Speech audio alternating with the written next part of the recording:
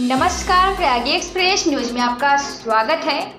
Prayag express news की खबर का असर जिला अधिकारी चित्रकूट ने लिया मामले को संज्ञान में।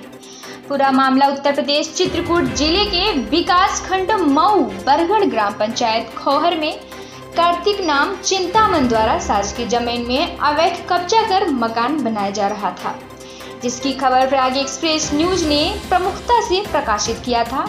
जिसको जिलाधिकारी चित्रकूट द्वारा मामले को संज्ञान में लेकर नव निर्माण को रुकवा दिया गया था और गिराने का आदेश दे दिया गया था। जो आज गिराने का कार्य चालू हो गया है, सबसे बड़ी बात है कि आखिर किसकी मिली भगत से शासकीय ज़मीन में कब्जा हो रहा था।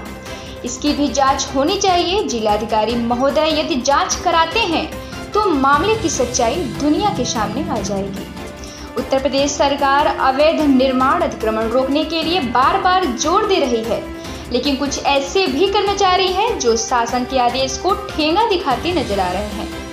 लेकिन आज जिला अधिकारी चित्रकूट का कार्य बड़ा ही सराहनीय रहा। प्रयाग एक्सप्रेस न्यूज़ की खबर का असर नवनिर्माण ध्वस्त। अब हम आपको लेकर चलते हैं, जहाँ पर शासकीय ज़मीन में अवैध कब्जा हो रहा था।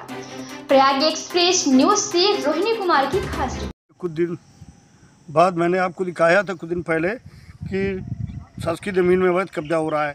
इसको जिलाधिकारी महोदय चित्रकूट ने लिया संज्ञान में, और जो शासकीय ज़मीन में कब्जा हो रहा था, इसको तोड़ दिया गया है। और जैसा आप देख सकते हैं हमारे सामने, पहले ये बना था लेकिन इसको तोड़ दिया गया है। और कुछ अभी जो बने हैं, ये भी टूट जाएँगे। ऐसे में लगता है कि कहीं ना कहीं जिलाधिकारी महोदय के संज्ञान में मामला नहीं था, नहीं तो पहले ये बनता ही नहीं। और उन्होंने तुरंत जो है, press express news, Rohini Kumar की बातों को लिया अपने संज्ञान में और शासकीय ज़मीन पर अवैध कब्जा होते हुए को कराया मुक्त। आप देख सकते हैं, तोड़ दिया गया है, और भी आगे काल दिखाएँगे।